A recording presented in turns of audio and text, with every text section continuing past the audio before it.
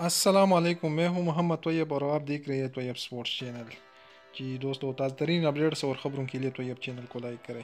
جی دوستو سرپراز احمد کی جگہ Babar Azam one day team کے کپتان مقرر، پاس بالر نسیم شاہ پہلی مرتبہ سینٹرل کنٹریک کے پیرس میں شامل۔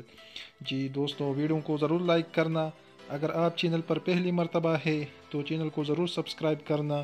اور بیل آئیکن کو ضرور دبا دینا۔ جب میں ویڈیو کو اپلوڈ کرتا ہوں تو آپ کو نوٹیفیکیشن پہلے ہی مل سکیں گے۔ جی دوستو، پاکستان کرکٹ بورڈ نے قومی ٹی ٹوینٹی ٹیم کے کپتان بابر اعظم کو ایک روزہ میچوں کے لیے بھی ٹیم کے ٹیم کا کپتان مقرر کر دیا۔ پاکستان کرکٹ بورڈ کی جانب سے جاری اعلامیے کے مطابق بابر اعظم کو ایک روزہ میچوں کے لیے پاکستان کرکٹ ٹیم کا کپتان مقرر کر دیا گیا ہے۔ Babar Azam, Pakistan T twenty team کا بھی کپتان ہے۔ جبکہ اظہر علی ٹیسٹ ٹیم کی قیادت کریں گے۔ تفصیلات کے مطابق پاکستان کرکٹ بورڈ نے کھلاڑیوں کے لیے سینٹرل کنٹریک کا اعلان کر دیا ہے۔ پاس باؤلر نسیم شاہ پہلی مرتبہ سینٹرل کنٹریک کے پیرس میں شامل ہو گئی ہے عابد علی، محمد رضوان، شان مسعود اور شاہین شاہ افریدی کی ترقی ہوئی ہے، جبکہ افتخار احمد بھی اٹھارہ رکنی کے پیرس کا حصہ بنے ہیں۔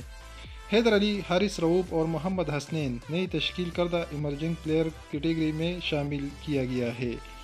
خیال رہے کہ بابر اعظم سے قبل وکٹ کیپر بلے باز سرپراز احمد قومی ٹیم کے کپتان تھے، تاہم پہلے ان سے ٹیسٹ اور ٹی ٹوینٹی کی قیادت لی گئی۔ اور پھر اب ون ڈے ٹیم کا کپتان بھی بابر اعظم کو بنا دیا گیا ہے۔ تو بابر اعظم ون ڈے اور ٹی ٹوینٹی کا کپتان بنا دیا گیا ہے۔ جی دوستو، تازہ ترین اپڈیٹس اور خبروں کے لیے تو یہ چینل کو لائک کریں۔ نیکسٹ ویڈیو کے لیے انشاءاللہ پھر ملیں گے۔ تب تک کے لیے اجازت دیجیے خدا حافظ۔